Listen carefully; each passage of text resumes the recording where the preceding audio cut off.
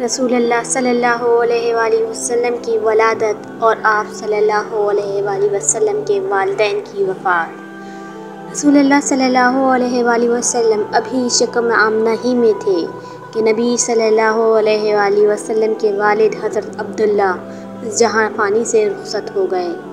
अल्लामा इब्न साद ने तबक़ात में लिखा है कि कुरैश का एक काफ़िला तजारत के लिए शाम जा रहा था रसूल अलैहि वसल्लम के वालिद हज़रत अब्दुल्ला भी उसके साथ चल पड़े और गज़ा तक गए।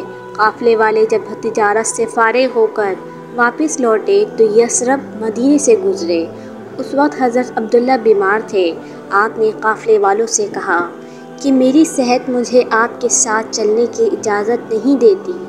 मैं यहीं अपने ननियाल, यानी बिन अदी बिन नजार के लोगों में ठहरता हूँ। तुम चले जाओ। काफ़िले वाले चले गए और आप यहाँ एक माह तक मुकीम रहे। जब काफ़िला मक्के मुकर्रमा पहुँचा तो हज़रत अब्दुल मुतल्लिब ने काफ़िले वालों से अपने लख्त जिगर, यानी जनाब अब्दुल्ला के बारे में दरियाफ़्त किया कि वो कहाँ हैं। तो उन्होंने कहा, वो बीमार हो गए थे। हम उन्हें यसरब बन नजार के लोगों में छोड़ आए हैं। जनाब अब्दुल मुतल्लिब ने अपने साहबजादे हारिस को जनाब अब्दुल्ला की ख़बरगिरी के लिए भेजा। इसी इसना में आप वफ़ात पा गए थे और लोगों ने आपको मावा के घर में दफन कर दिया था। जनाब अब्दुल मुतल्लिब को जब अपने फ़र्जंद अब्दुल्ला की वफ़ात की ख़बर मिली तो आपको और अब्दुल्ला के तमाम बहन भाइयों को सख्त सदवा हुआ, क्योंकि उस वक्त रसूल करम सल्लल्लाहु अलैहि वसल्लम अभी शक में आमना में ही थे। आखिर दुआए खलील सलाम और नवीद मसीह के पूरा होने का मुबारक वक्त आ पहुँचा। और अल्लाह वहदहुला शरीक के आखिरी रसूल सल्लल्लाहु अलैहि वसल्लम, हज़रत मोहम्मद रसूल सल्लल्लाहु अलैहि वसल्लम तशरीफ़ ले आए। मशहूर सीरत नगार रहमत आलमीन के मुसनब हज़रत अल्लामा सईद काजी सलेमान मंसूरपुरी रहमत लिखते हैं कि आप सल्लल्लाहु अलैहि वसल्लम की वलादत बासादत दो शुम्बे के दिन, सुबह सादिक के बाद और तुलु आफ्ताब से कबल, नौ रबी अव्वल को मौसम बहार में हुई। मोहसिन आलम, सरवर आलम सल्लल्लाहु अलैहि वसल्लम पैदा हुए तो यतीम। जब आप सल्लल्लाहु अलैहि वसल्लम की उम्र मुबारक छः बरस की हुई तो नबी सल्लल्लाहु अलैहि वसल्लम की मुशफ़ माँ आप सल्लल्लाहु अलैहि वसल्लम को साथ लेकर मदीना गईं।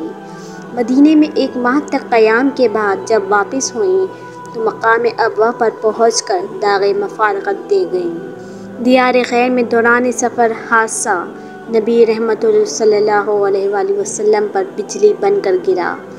बाप का साया पैदा होने से पहले ही सर से उठ चुका था।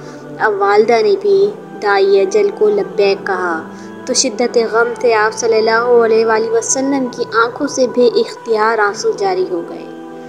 उम ऐमन जो इस सफ़र में नबी सल्लल्लाहु अलैहि वसल्लम के हम रकाब थीं, वो आप सल्लल्लाहु अलैहि वसल्लम को साथ लेकर मक्का वापस आईं जब हज़रत आमना रज़ी उन्होंने आप सल्लल्लाहु अलैहि वसल्लम को दाग मफ़ारक़त दिया तो अब्दुल मुतल्लिब यानी हुजूर सल्लल्लाहु अलैहि वसल्लम के दादा, उन्होंने हुजूर सल्लल्लाहु अलैहि वसल्लम को अपनी आगोश मोहब्बत में ले लिया और बड़ी शफ़क़त व प्यार से तादम आखिर सरवर आलम सल्लल्लाहु अलैहि वसल्लम को अपने साथ रखा और अपनी सलबी औलाद से बढ़कर आप सल्लल्लाहु अलैहि वसल्लम को अज़ीज़ जाना।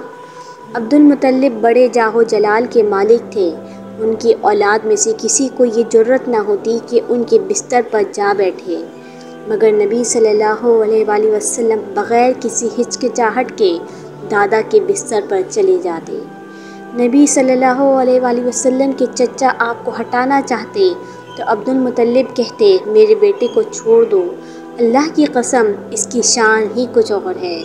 मैं उम्मीद रखता हूँ कि ये बुलंद मर्तबे पर पहुँचेगा, जिस पर इससे पहले कोई अरब नहीं पहुँचा।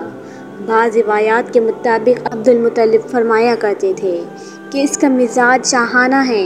रसूल सल्लल्लाहु अलैहि वसल्लम को दादा से बेहद मोहब्बत थी। वालदेन का साया सर से उठ जाने के बाद दादा, जो रहमत आलम सल्लल्लाहु अलैहि वसल्लम के लिए तस्कीन कल्ब व जान थे, मगर ये खैर ख्वा भी ज़्यादा देर तक वफा ना कर सका। अभी आप सल्लल्लाहु अलैहि ने उम्र की आठ मंजिलें ही तय की थीं कि दादा अदम को रवाना हो गए।